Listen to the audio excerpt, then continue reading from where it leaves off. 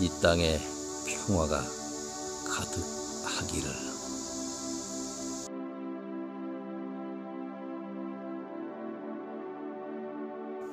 이번 영상은 풍요로운 농촌 풍경, 일렁이는 황금빛 물결, 보리밭 편이에요. 영상을 담아놨던 시점은 모내기를 다 마친 상황이었고요. 밭둑에 있는 오디가 막 익어가고 있을 시점이기도 했어요. 오디를 며칠 후 따다가 어, 오디잼을 담아놓기도 했었던 여유로웠던 때였던 것 같았어요. 다시 보리밭이에요. 참 풍요롭지요. 황금빛. 이 황금 물결은 두 번을 볼 수 있죠. 우리나라에서 그 봄철에 그 밀과 보리 그리고 가을에 벼지요. 벼, 들판에 있는 벼. 그렇지만은 어, 내가 농사를 짓던 안 짓던 이 황금빛 물결을 보느라면 마음이 평온해지죠. 이 봄판에는 이제 녹색으로 물대는 계절이기도 하지만은 예, 이렇게 보리밭이 점점 귀해요. 예전 같으면 많이 볼 수 있었는데 어, 재배하는데도 얼마 안 돼요. 그래서 눈에 띄는 모습이 있어가지고 어, 가던 길을 멈추고 잠시 영상으로 담아놨었는데 엊그제 보니까 영상이 남아 있어요. 이거 귀한 영상인데 그래서 함께 보려고 이렇게 올립니다.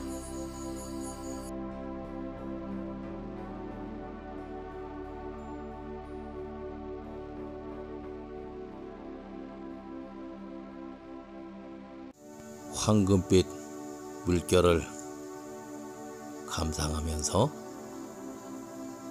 닫혀있던 마음을 치유해 보세요.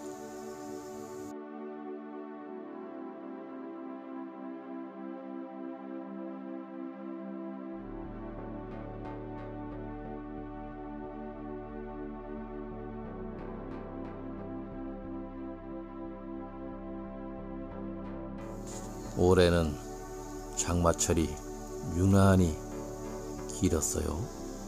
50여일 동안 비가 오면서 삼북도 역시도 모두 장마권 속에 묻혀서 다 지나갔어요.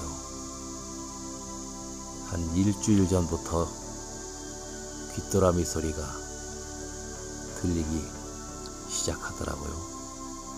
이제 가을로 접어들었죠.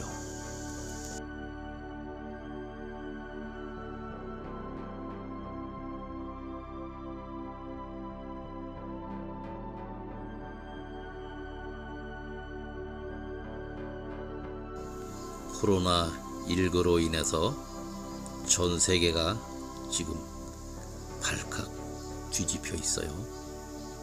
우리나라도 역시 예배는 아니고요.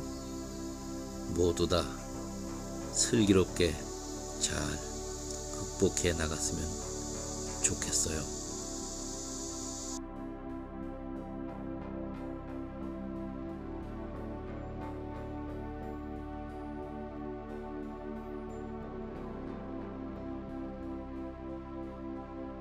우리는 그동안 그 무엇인가 쫓기는 듯한 삶을 살아오지는 않았는지 가던 발걸음을 잠시 멈추고 심호흡하며 그동안 걸어온 발자취들을 되돌아 봅니다.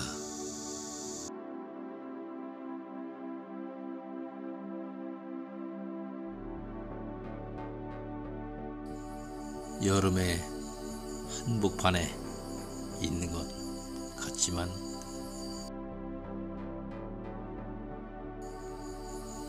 우리 인생도 가을로 접어들고 있습니다.